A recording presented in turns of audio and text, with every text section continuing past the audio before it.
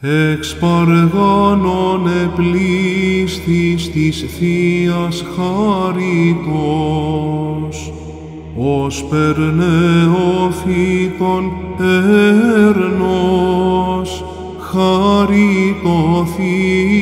στην ψυχήν και θαυμάτων αυτούργος ξένων γενόμενος,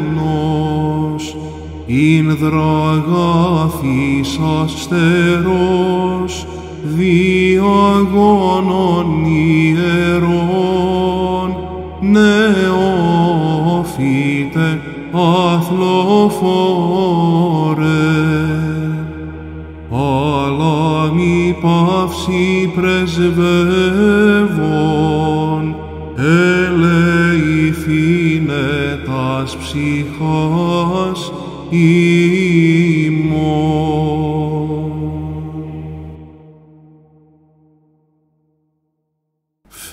Φερονίμος αγνίας οφθής κοιμήλιον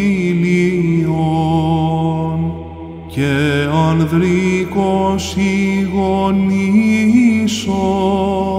υπέρ της δόξης Χριστού καλή παρθενέ σέμνη αγνή πανέφημε ως γαρθησία καθαρά προσενήν εξε αυτό τελέσασα τον αγώνα αθληφόρε και του εχθρού την πλάνην εφλέξα.